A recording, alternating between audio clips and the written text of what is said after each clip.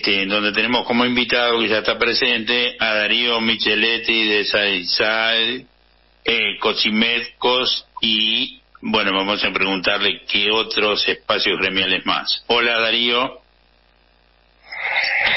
Hola compañero, ¿cómo anda? Buenas noches. No sé si se escucha bien. Sí, se escucha muy bien. Te escuchamos perfecto. Buenas noches. Bueno, eh, contanos, este, sos de SALSAI, que es el sindicato de televisión, y estás a cargo de una seccional y también estás en la conducción nacional, si mal eh, no entendí. Este, comentanos de la seccional cuántos eh, lugares abarca y más o menos cuántos afiliados tiene y qué empresas entrarían. Por la gente por ahí se imagina solo canales de televisión y tienen muchas más cosas. Bueno, ante todo, Santiago, agradecerte la, invitación y saludar a todos los, los oyentes, o en este caso hasta televidentes, podemos decir, ¿no? Eh, te voy a, corregir un poquito algunas cosas porque obviamente vos tenés seguro muchos temas en la cabeza, así que voy a hacer la presentación como corresponde del sindicato al cual pertenezco, que es el SATSAID, que es el Sindicato Argentino de Televisión, Telecomunicaciones servicios audiovisuales, interactivos y de datos, siglas que cambiaron hace algunos años con los avances tecnológicos. Nuestro sindicato fue siempre el SAT, que era el Sindicato Argentino de Televisión.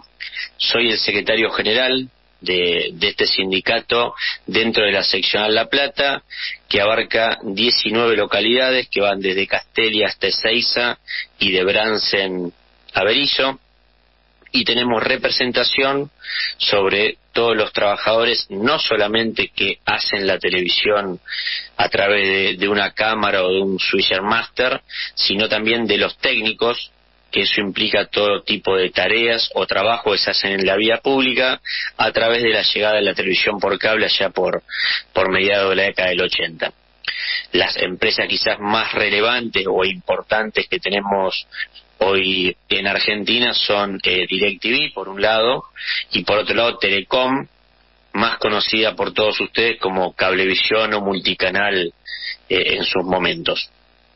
Y también pertenezco a la Confederación Sindical de los Trabajadores de los Medios de Comunicación Social, eh, que es la COSIMECOS, del cual también soy el secretario general, eh, y abarca eh, nueve sindicatos hermanos, como son SUTEP, ATRAC, gráficos, actores, obviamente televisión, eh, canillitas y no sé si me olvidó alguno. Eh, pero bueno, tengo la, dicha de conducir este espacio ya hace seis años y la, la semana próxima vamos a estar teniendo elecciones nuevamente. ¿Y cómo van esas elecciones? ¿Se vota? Eh, y nosotros ponemos a consideración eh, quién es la, conducción. Eh, tuve la, dicha, el honor que es un, grupo muy importante de, de sindicato, de compañeros, diría hasta de amigos, que en ambos periodos me han solicitado a mí que yo sea el que conduzca este espacio, así que siempre estoy muy agradecido. Y bueno, veremos la semana que viene si, si seguimos conduciéndolo, seguimos siendo parte de otro lugar, porque los cargos la verdad que son son menores no en estos casos. Acá lo que importante es estar todos juntos para poder tener músculo ante una pelea gremial de alguno de los gremios que la integra. Bien. En cuanto a la CGT este, también participan en ella Sí, sí, nuestro sindicato a nivel nacional, obviamente que adherimos a, CGT y acá en lo que hace a la regional La Plata, Berizo, Ensenada, Punta Indio, Bransen y Magdalena, tenemos una participación muy activa que estamos, bueno, esperando eh, que de la Secretaría del Interior de, de, CGT, a través del compañero Horacio Otero de la UOM, podamos estar próximamente normalizándola. Venimos trabajando hace mucho tiempo eh, con un compromiso que hemos asumido todos los sindicatos aquí de la región y creo que próximamente estaremos eh, teniendo normalizada esta, esta regional tan importante para, para los, los sindicatos que la componemos y para más que nada para la sociedad. Bien, eh, te pregunto en cuanto a los grandes nucleamientos eh, que hay dentro de CGT, ¿participan en alguno? nacionales me refiero. Sí, a nivel nacional nuestro sindicato está participando activamente de la corriente federal. Eh, desde sus inicios, con un grupo nutrido de, sindicatos que han estado en la calle durante la pandemia macrista. Eh, hoy ese espacio sigue estando, pero ya con una CGT eh, normalizada a nivel nacional, todos los que conforman ese espacio están nucleados en CGT. Bien. Sí, sí, conocemos y entrevistamos a varios como Walter Correa, Héctor Michetti, y bueno, y en el futuro queremos entrevistar a Palazzo también. Este, bueno, eh, dentro de las problemáticas gremiales, aparte del salario y, bueno, el sufrimiento por los precios desbocados, este, una de las cosas que me preocupan a mí en tanto abogado laboralista y dirigente sindical es la cuestión de la persecución gremial.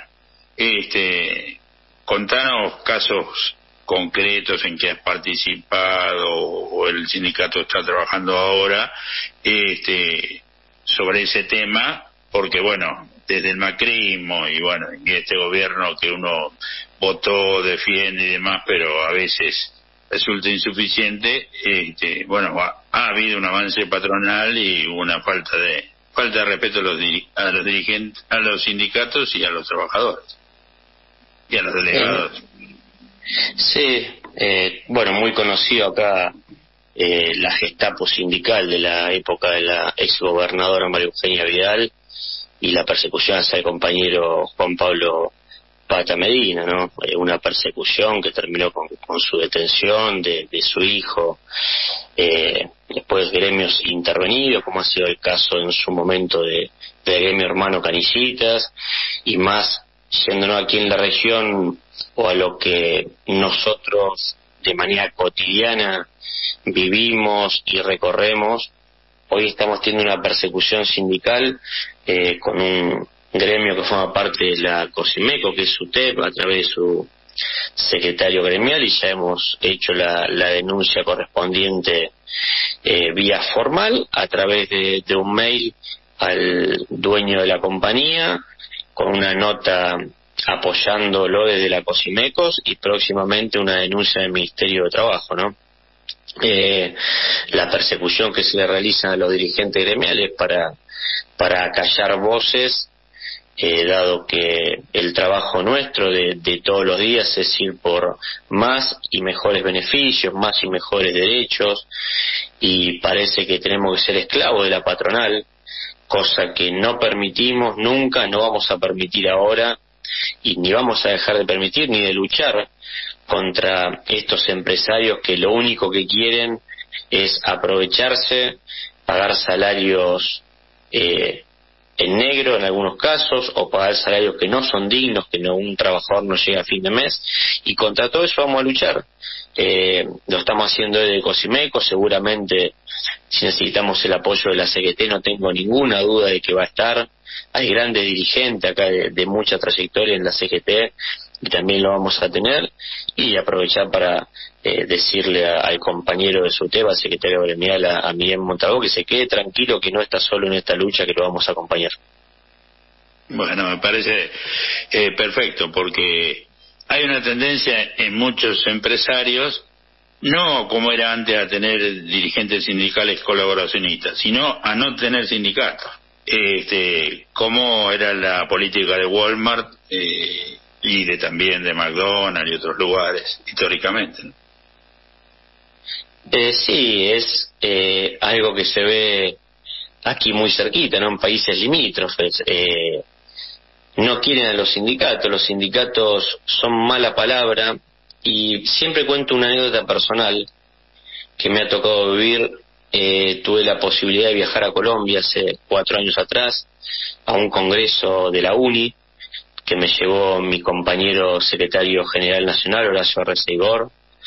Eh, había una treintena de países eh, y la verdad que me vine con, con espalda ancha, con un orgullo enorme, escuchar a, dirigentes gremiales eh, de países europeos o, del norte de, de, América diciendo que los sindicatos argentinos son un ejemplo a seguir.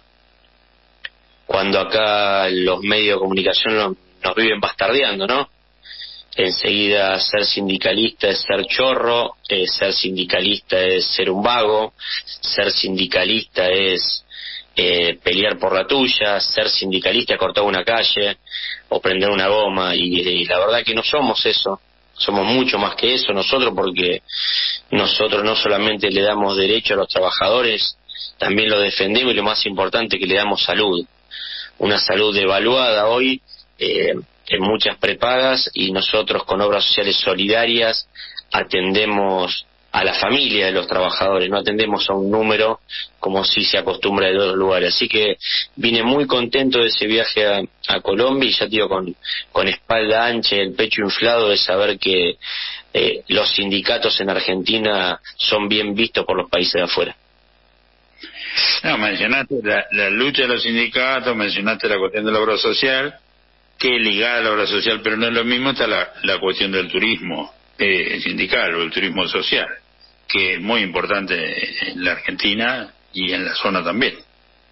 Sí, sin lugar a dudas. Eh, la verdad que gracias por recordarlo, pero eh, nosotros, Santiago, hablo de, nuestro sindicato y no del resto, pero nosotros tenemos hoteles en todas las provincias del país, eh, con muchísimo beneficio. Acá eh, la familia numerosa eh, de cuatro personas para arriba solamente paga el afiliado titular y su pareja. Eh, los nenes no pagan estadía ni, ni media pensión.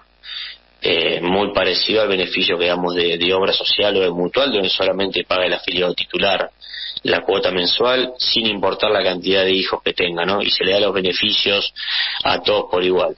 Eh, los sindicatos somos solidarios, fuimos solidarios, nosotros tenemos que hacer que la gente pueda disfrutar y gozar de buenas vacaciones y que la preocupación que para muchos es la salud, nosotros tenemos que dar una solución a la gente y siempre estamos eh, atentos a, cualquier inconveniente que surja para estar al lado de la familia. Eh, te pregunto si en La Plata o cercanías tienen algún country, recreo, como lo quieres llamar, campo de deportes. sí, tenemos eh, nuestra seccional hace apenas seis años eh, que tenemos nuestro primer camping, no teníamos, está en la localidad de Bosques, ahí cerquita de Quilmes, de Florencio Varela, de Brazategui.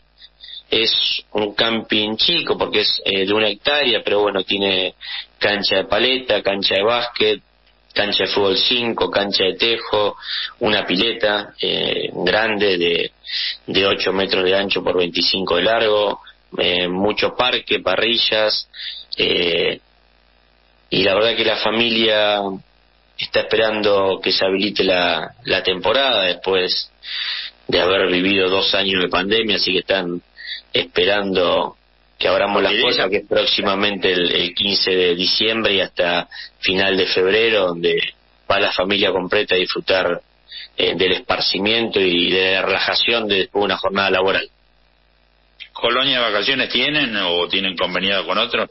Sí, nosotros tenemos colonia de vacaciones a nivel nacional en el camping que está en la localidad de Moreno.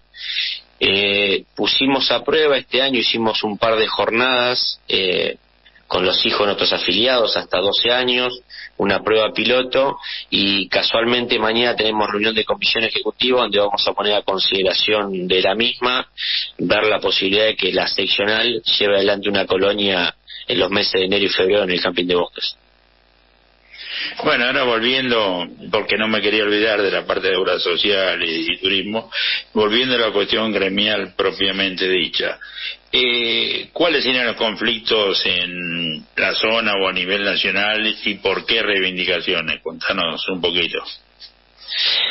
Eh, hoy, por hoy, nuestra actividad eh, va de la mano de los avances tecnológicos los que nos conlleva tener una agenda sumamente cargada, ¿no? Eh, más allá de la paritaria que la estamos discutiendo cada tres o cuatro meses, eh, casualmente ahora se nos está venciendo una de las prórrogas eh, de, los canales de cable que es ATBC, que si después querés cuento un poquito cómo estamos ahí, Pero en lo que respecta a los problemas gremiales, estamos, yo siempre digo a mis compañeros, corriendo atrás de la pelota, ¿no?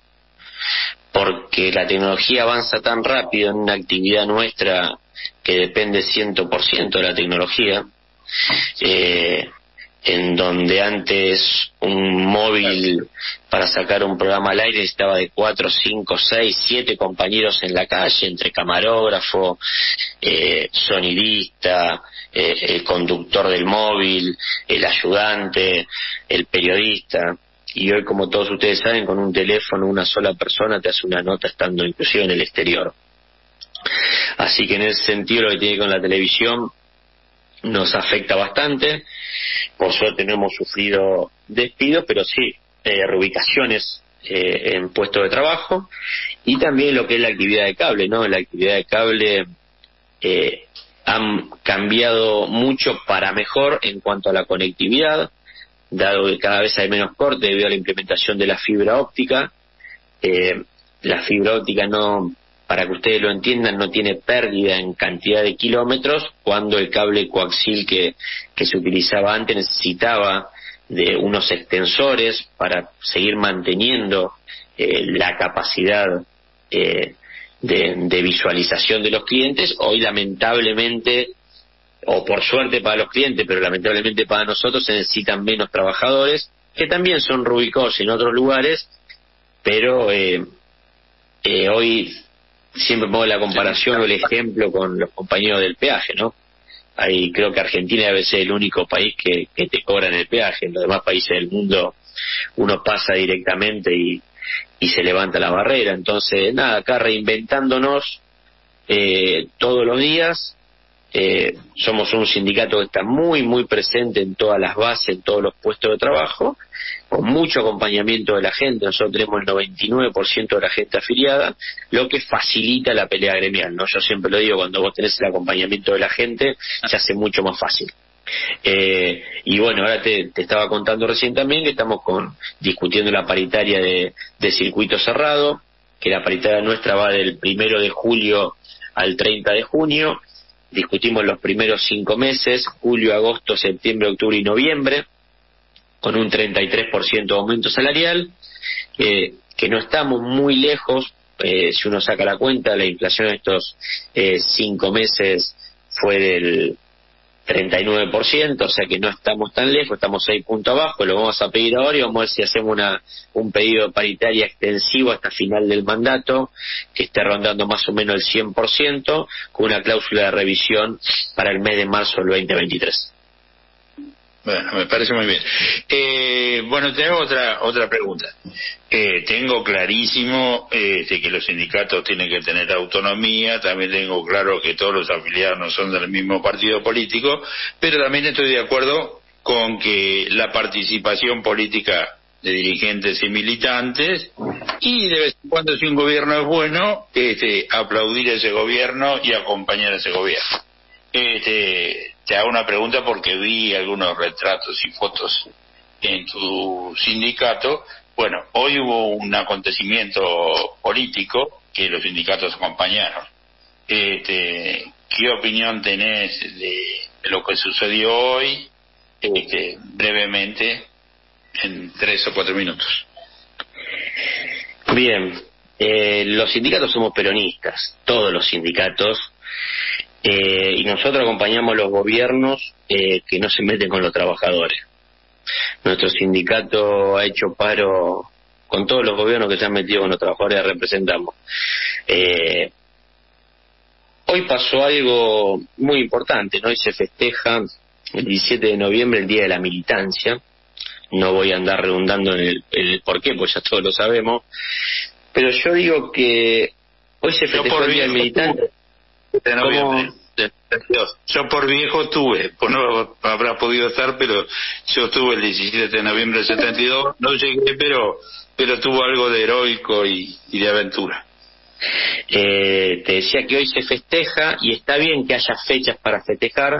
Yo comparo muchos días, ¿no? El Día del Trabajador, como el Día de la Militancia, como el Día de la Lealtad, eh, con el Día de la Madre uno el día de la madre le va a dar un beso a la madre y le lleva un regalo, pero el día de la madre todos los días. Y todos los días es el Día del Militante, y todos los días es el Día de la Lealtad, y todos los días es el Día del Trabajador, para los que somos militantes en serio, ¿no? Y hoy pasó algo muy importante, ¿no? Eh, hoy estuvo la conductora de un espacio político, creo que una de las tres personas más importantes de la historia política de Argentina, para mí, que es la compañera Cristina Fernández de Kirchner, eh, en donde se mostró claramente el acompañamiento que ha tenido hoy la, compañera. Y estamos a, a un abrir y cerrar de ojos de las elecciones venideras, ¿no? Estamos muy cerquita de las elecciones. Y me parece que todos los que queremos a este hermoso país y que queremos ver educación, queremos ver salud, queremos menos desempleo, queremos igualdad, tenemos que empezar a separar dos cosas. En primer lugar, los egos. Tenemos que empezar a mirar para el costado y no mirar el ombligo de uno y la comodidad de uno. Algo tan difícil en estos tiempos, ¿no? Acomodarse uno sin importarle el otro. Y en segundo lugar, dejar de comparar el kirchnerismo con el peronismo. Nosotros tenemos que tener en claro quién es el enemigo de los trabajadores, de las trabajadoras, del pueblo argentino. Los enemigos son los que quieren dolarizar la economía, los enemigos son los que quieren tener recetas viejas del 2000, del 2001, que nombran a exministros de trabajo, que nos llevaron a la quiebra vendiendo medio país. Esos son los enemigos nuestros. Y esos enemigos nuestros se alimentan todos los días de los medios de comunicación.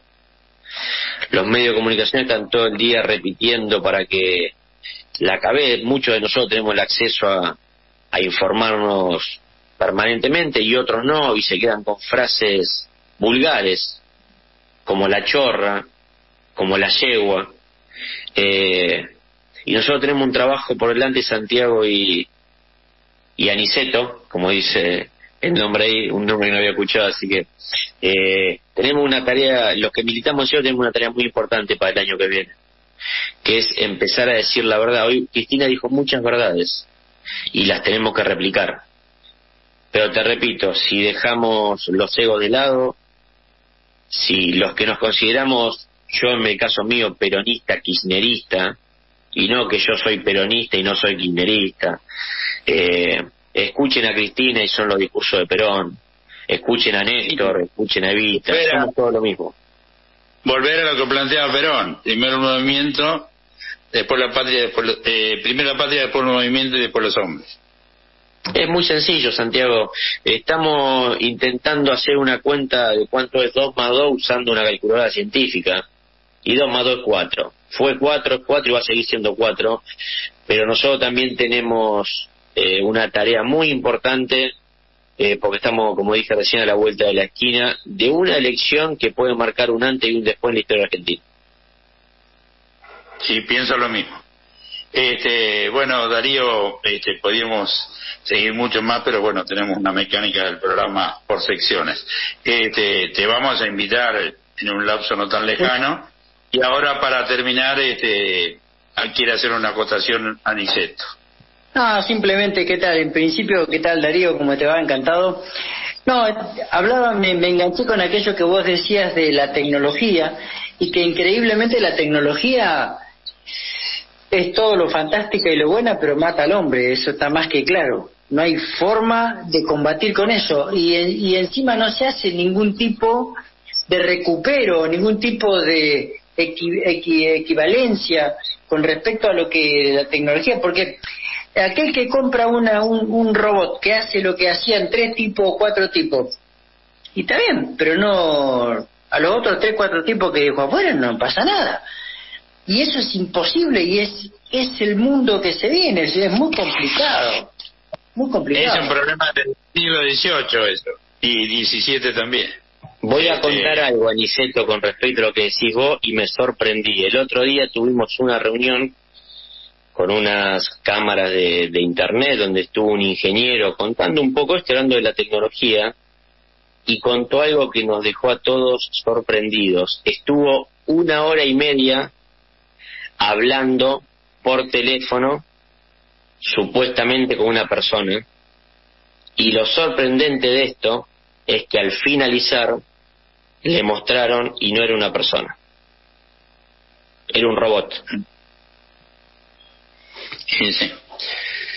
Bueno, eso se puede combatir este, recuperando la espiritualidad que, este, aparte todo el día uno no está en el trabajo ni hay que empezar a compartir este, la amistad, este, el deporte colectivo y ciertas cosas que son nutrientes no solo la materia. Pero todo eso está genial, eh, pero el tema es que el tipo que se quedó sin trabajo, yo cuando pusieron las máquinas en los micros puse el grito en el cielo, pero digo, ¿por qué no ponen un guarda en el micro en lugar de una máquina? Eh, en principio porque el tipo no está bien que vaya un tipo a cargo de un micro con tantas personas solo, porque le puede pasar cualquier cosa, porque es una persona. Entonces, y, y demás, pones un guarda, el tipo lo acompaña, es, una, es todo mucho mejor. No, máquina a otra cosa mariposa. Esto daría para una discusión que viene del siglo XVIII y XIX. Eh, bueno, siempre me, quedé en aquel Hay expulsión de mano de obra. Este, bueno, un abrazo Darío y te vamos a invitar de nuevo porque estuvo muy muy linda la charla este, y creo que te habrá sentido cómodo. Eh, gracias Santiago por la invitación, me he sentido muy cómodo, un placer Aniceto haberte conocido y a disposición siempre. Un saludo a todos los oyentes. Muchísimas gracias Darío, que sigas muy bien, gracias, muy amable. chicos, gracias. No.